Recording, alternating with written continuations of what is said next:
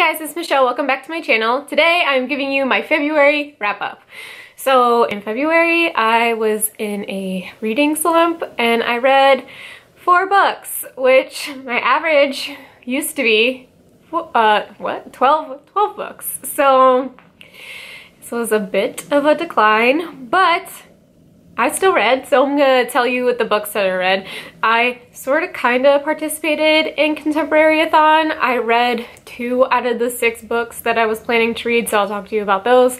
I took one vlog clip that I will insert in here. It'll be great. So let me talk to you about the first book I read. I read Nevermoor, The Trials of Morgan Crow by Jessica Townsend. I actually read this for my Reading My Favorite Booktubers Favorite Books of 2018 video, so I'm not going to talk to you about this because this will be in a vlog that I'll get my shit together and do eventually, so I'm not even going to tell you the rating.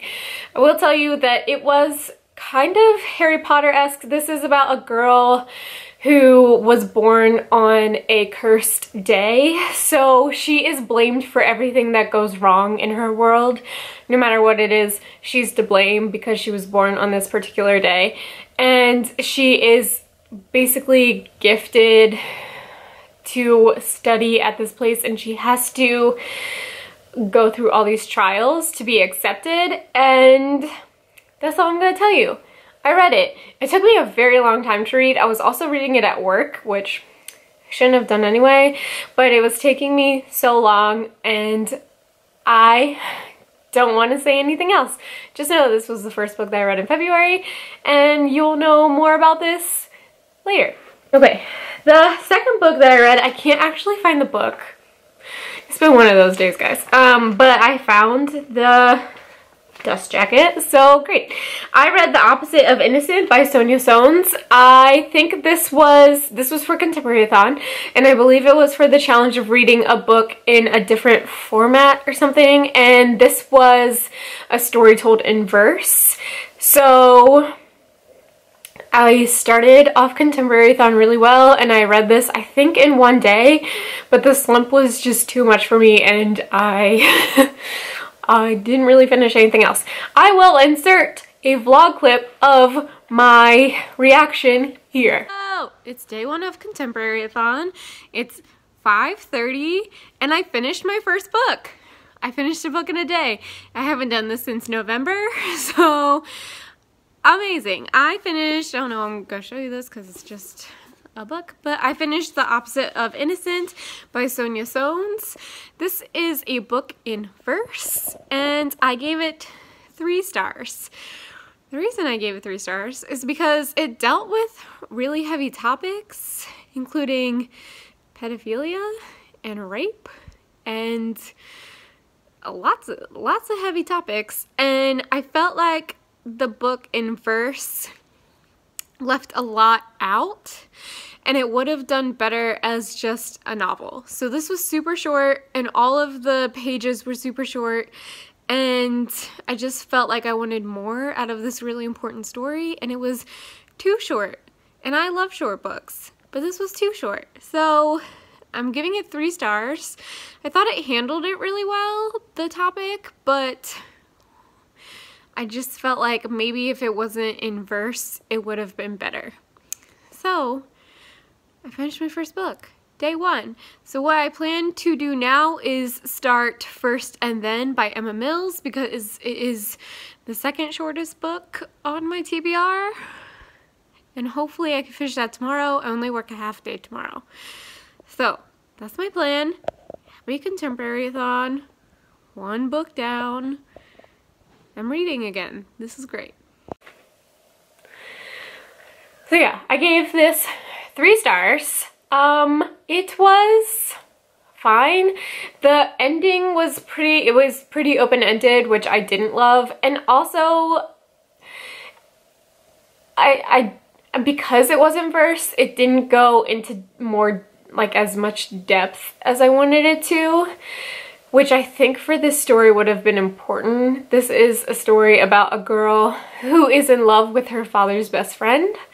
And basically he is grooming her and is pedophilia and it is serious, but because it was in verse and it was so short, it was like less than 300 pages, it just was very like, everything felt so abrupt. So it wasn't the, my most favorite thing that I read. I'm glad I read it. Like, I read a book in a day, which is something I hadn't been able to do since January. So I'm really glad that I did that, but it wasn't my most favorite thing that I read. And then the next book that I read for Contemporary-a-thon was First and Then by Emma Mills. I think this was the challenge to read a book that I like wanted to read in 2018 and didn't get to. And this is actually a book that I probably wanted to read back in 2017 and didn't get to. So I read this.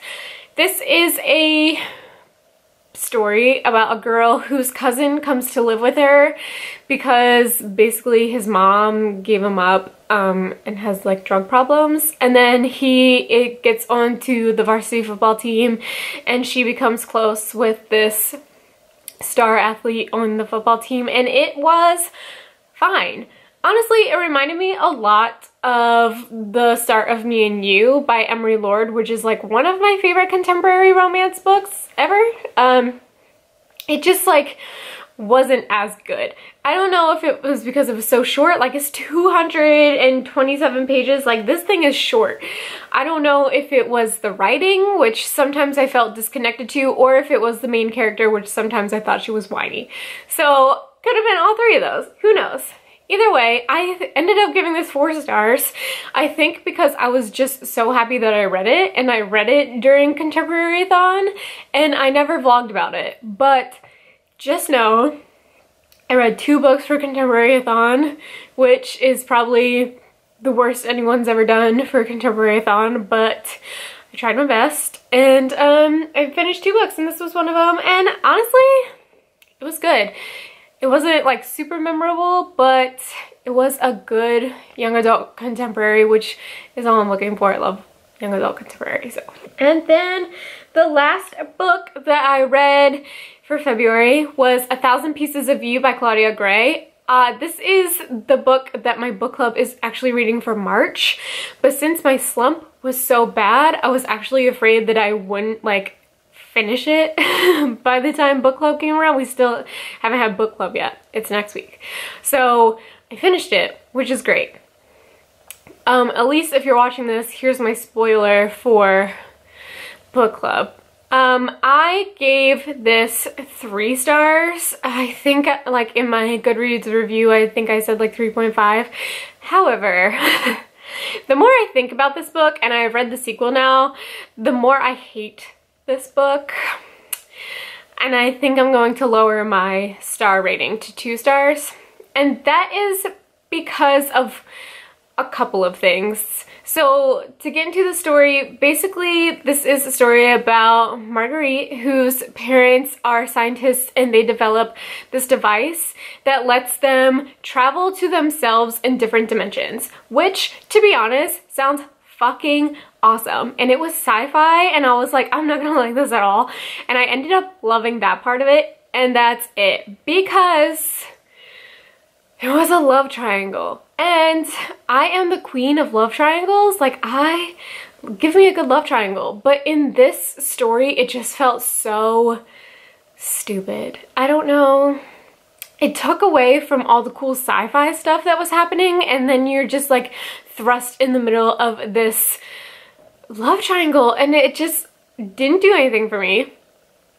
Did not love the love triangle. And there is this event that happens when she is in her other body, I guess, in Russia, called the Russiaverse.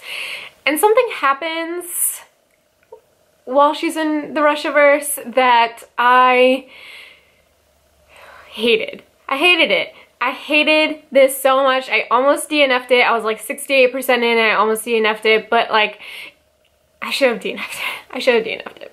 Because I read the sequel, A Thousand Worlds with You, I think. I don't, I actually don't remember. I have it right here. A Thousand Skies Above You. Okay, so I read the second one and we go back to the Russiaverse and like the consequences of what she did in Russiaverse comes to fruition in the second book.